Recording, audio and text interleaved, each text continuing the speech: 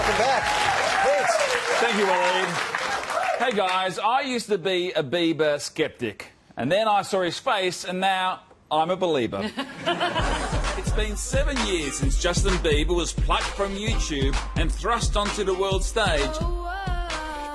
And despite some controversies and a fair whack of haters, the Biebs is bigger today than he's ever been. What do you mean?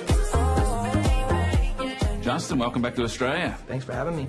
Now, congratulations. What do you mean? Thank you. Well, number one, it's awesome. Thank you. Uh, you, did you know it was going to be like number one? Did you know it was going to be this big? I didn't know how big it was gonna be. No, it was. Uh, it was definitely a surprise to me.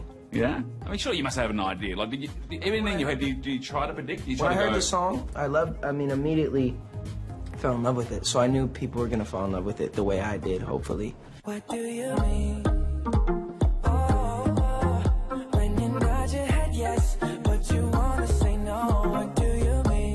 What do you mean is basically about not knowing what ladies are going on about. Now, man to man, fella to fella.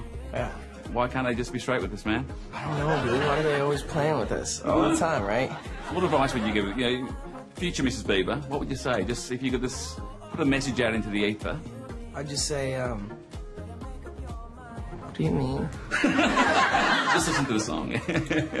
and there's a good chance she has, with the song topping the charts all around the world, even claiming Justin his first US number one after he debuted the song with an emotional performance at the VMAs.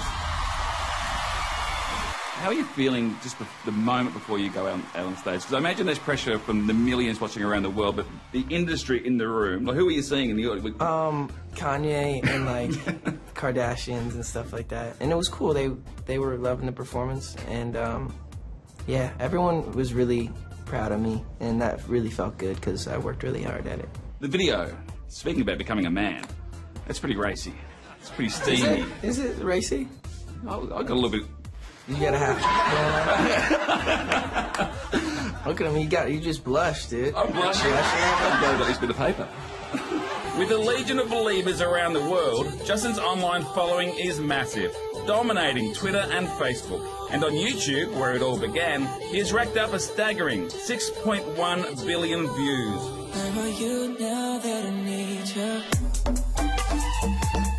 And social media is massive for you 67 million Twitter followers. Yep. Do you know how much the president has? How many?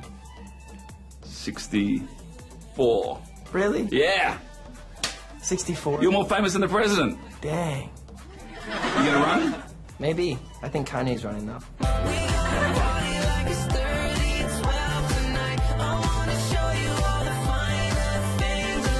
If you could go back and, and, and, and chat to younger Justin, what, what a bit of advice would you would you give him? Because you have a time machine out the back. I would just say, like, listen.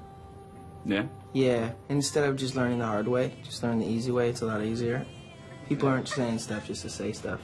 People, when they're trying to help you, I just wasn't listening. If I was your boyfriend. With millions of fans desperate to meet him, Justin says they can get a little overwhelmed face to face. Sometimes they miss the moment. I'm like, they're, there's like, I don't know. It's like their one moment to see me, so they kind of just don't know what to do or just what to say, and I, it's understandable. But sometimes I'm like, hey, hey, relax, one second. Hey, I'm right here. I can talk to you. We can have a conversation, and I would way rather have that moment and then be able to snap out of it and be able to understand that, like, I'm, I'm human and I'm easy to talk to.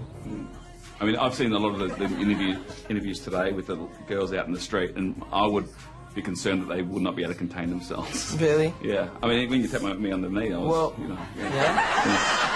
Yeah, anyway, let's not get into that. Now, I've been, uh, I've been using your Instagram for inspiration for my summer body. Yeah. Yeah. What? what, are you, what are you laughing, man? It's just funny. Summer bodies are made in winter. I've heard that. Have you heard that? No, I heard the dad bod's in though, so you're you're right on. I got the dad bod. Um, which filter should I use to make this look a little bit more like that?